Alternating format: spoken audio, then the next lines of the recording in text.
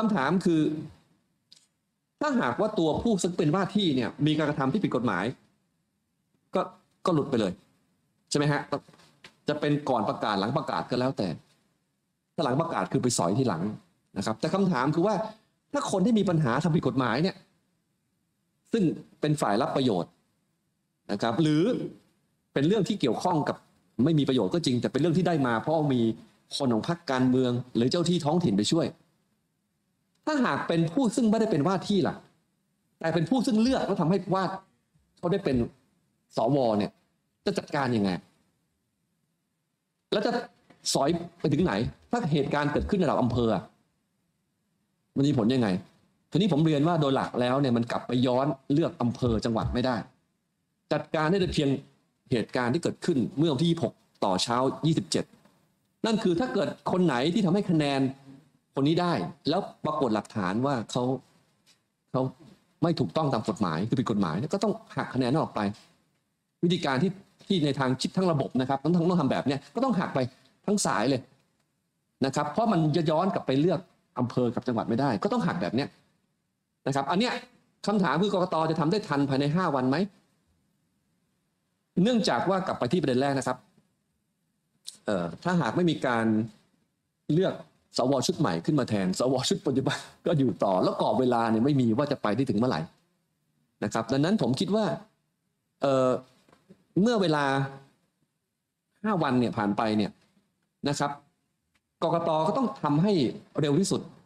ถ้าปรากฏหลักฐานอะไรก็แล้วแต่นะครับทีนี้คำถามคือเนี่ยกลับมาที่มาตรา62อีกทีนะครับ คือถ้ามีหลักฐานนั้นควรเชื่อว่าการเลือกไม่สุจริตไม่เที่ยงธรรมนะครับ อันนี้ก็ไปสอยที่หลังเนี่ย นะครับ แต่ประเด็นคือให้ประกาศผลการเลือก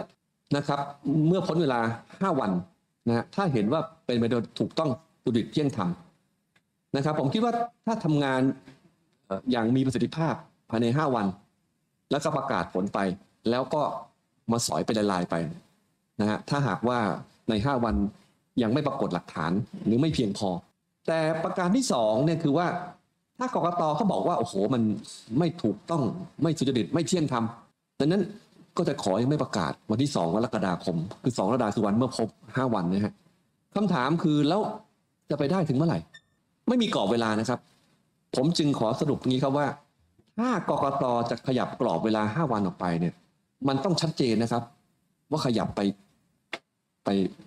กี่วันน่ะเรื่อย ๆ ไม่ได้ แล้วต้องชัดเจนว่าที่ขยับไปเพื่อจะ จัดการจริง ๆ ต้องมีใครล่วงไปเพราะมีหลักฐานแล้วนะครับ จะบอกว่าตอนนี้ยังดูนั้นนี่ขอเลื่อนไปเรื่อยๆก่อนอันนี้ไม่ได้ เพราะว่าการเลื่อนออกไปเท่าไหร่คือการต่ออายุของสวคสชไปนานเท่านั้น นั้นตรงเนี้ยต้องต้องมีความชัดเจนนะครับผมคิดว่าสิ่งที่มีแนวโน้มเนี่ยนะครับว่าจะถูกตีความเนี่ยคือแนวโน้มคือว่าต้องครบสองร้อย ถึงจะมีสวใหม่นะครับเพราะจะไปเทียบเคียงกับการเลือกตั้งในปีสองห้าสี่เมษานะครับเลือกสอสอไม่ครบห้าร้อยคน สภาผู้แทนก็ไม่เกิด ถึงได้เกิดฉบับ 50 ไง ว่าได้ 95%ก็ถือว่าเกิดแล้ว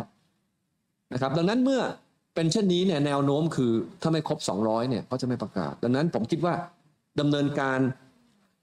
ประกาศให้ครบแล้วสอยทีหลังดีกว่า โดยช่วงก่อนประกาศเนี่ยก็ทำให้เที่ยงธรรมที่สุดเท่าที่มีหลักฐานดำเนินการ ถ้ามีเหตุใดต้องขยับไปเกินกว่า 5 วันเนี่ยกตต้องมีความชัดเจนว่ามีหลักฐานอย่างไรที่ทำให้ต้องขอเวลาสามวันอะไรก็แล้วแต่ ต้องมีความชัดเจนไม่ใช่เลื่อนไปเรื่อยๆนะครับ แล้วผมคิดว่าแบบเนี้ยนะครับเออการที่จะมีสวชุดใหม่นะครับ แม้ว่าเราจะรู้สึกว่ายังไม่เป็นที่ เราคาดหวังนะครับเออเพราะว่ายังพบว่ายังมีเหมือนเครือข่ายจัดตั้งนะครับ มีบ้านใหญ่มีอะไรแบบนี้เข้ามาเนี่ย ผมก็ชวนให้เปรียบเทียบกับสวของคอสชนะครับ ว่าจะอย่างไรเนี่ยนะครับ ตอนนี้สวชุดว่าที่ที่เกิดเนี่ยนะครับ ไม่มีใครแค่กลุ่มใดหรือคนใดมาครอบงำได้ ทั้งหมดหรือเกือบทั้งหมดอีกต่อไปแล้ว นะครับในส่วนของเครือข่ายบ้านใหญ่เนี่ยนะครับเออยังไงก็ไม่ถึงครึ่งนะครับเมื่อไม่ถึงครึ่งเนี่ยมันก็เกิดการที่จะเรียกว่ารับฟังนะครับเเสียงของประชาชนหรือนอกสภามากขึ้นนะครับ เพราะว่าในเมื่อเสียงไม่ถึงครึ่ง ไม่มีใครเสียงถึงครึ่งเนี่ยก็ต้องฟังเสียงนอกสภา ต้องขอความสนับสนุนจากประชาชนมากขึ้นแล้วเนี่ยแหละครับ ผมคิดว่าเเป็นเรื่องที่ยังไงก็ต้องดีกว่านะครับ ที่จะให้สวชุดคอสชเขาอยู่ต่อไปเรื่อยๆ สรุปนะครับ ผมคิดว่าเออประกาศผลก่อน แล้วสอยที่หลัง โดย 5 วันนี้นะครับ เร่งตรวจสอบทุกสิ่งอย่างให้ทันเวลาที่สุด แล้วใครที่มีหลักฐานที่ที่ทำผิดกฎหมายนะครับ ก็ก็ถือว่าตกไปอันดับถัดไปก็เลื่อนขึ้นมานะครับ แล้วถ้าหากมีความจำเป็นจะเกิน 5 วันเนี่ยต้องประกาศออกมาครับว่าจำเป็นยังไง แล้วจะต้องมันจะคุ้มยังไงกับประกาศช้าออกไป ต้องมีความชัดเจนเรื่อยๆ ไม่ได้ สุดท้ายครับเอ่อวงจรปิดทุกตัวนะฮะกล้องทุกตัวเนี่ยนะครับเห็นว่ารอบเช้าเนี่ย ทุกกลุ่มอาชีพมีสี่กล้องห้ากล้องเนี่ย ต้องเป็นสาธารณะครับ หมายถึงว่าเป็นสิ่งที่เป็นข้อมูลสาธารณะที่ประชาชนทุกคนสามารถเข้าถึงได้ รวมไปถึงคะแนนต่างๆ ทั้งหมดด้วย นะครับไว้ง่ายคือผมพูดไปนี่คือเพื่ออะไรครับ ให้ประชาชนมีส่วนร่วมในการตรวจสอบนะครับกกตทำเองอาจจะไม่ไม่ไม่ไม่ดูได้ไม่ทั่วนะครับ ให้ประชาชนทั้งประเทศเขาช่วยตรวจสอบสงสัยวงไหน รอบเช้ารอบบ่ายกลุ่มใดก็ดูกล้องกันเลยนะครับ แล้วถ้าพบหลักฐานเนี่ยก็เดี๋ยวมาสอยทีหลังกันได้ อันเนี้ยฮะจะเป็นการแก้ไขด้วยนะครับ ในสิ่งที่คนเขาคลางแคลงว่ากกตเอ๊ะทำไมถึงไม่เปิดโอกาส แม้ว่าที่ผ่านมาเนี่ยจะน้อยกว่าความคาดหวัง แต่ถ้าหากตอนนี้เนี่ยยังแก้ไขเนี่ยยังพอเอาความเชื่อมั่นนะครับของประชาชนกลับคืนมาได้นะแต่อย่างไรก็แล้วแต่เนี่ยนะครับในการเมืองจากนี้ไปเนี่ยนะครับมันก็เข้าสู่การจบสิ้นไปนะครับของสวที่คอสชเขาเลือกไว้นะครับจากนี้ไปนะครับจะเป็นเรื่องของสภา นะครับที่ประกอบด้วยสสแล้วก็สวที่แม้ว่าจะมีระบบและการได้มาซึ่งมันยังไม่ดี แต่มันดีกว่า สวแต่งตั้งที่มาจากคอสชเลือกนะครับ แล้วการที่จะกลับสู่